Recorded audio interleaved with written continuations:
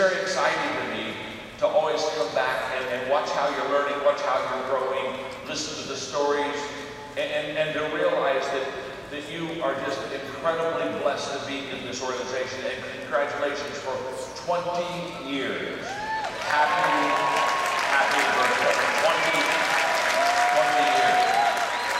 Fantastic. And, and you don't have an organization like this that is still thriving and growing 20 leadership, not only at the top, but throughout the organization is outstanding. And, and I want to just say, I just want to say this to all of you because all of you are, to one degree or another, your leaders. Of course, my, my thing is leadership. It's important for you to continue to grow as a leader because there's nothing worse than to lead from yesterday. There's nothing worse than to be leading off of yesterday. You, you want to stay fresh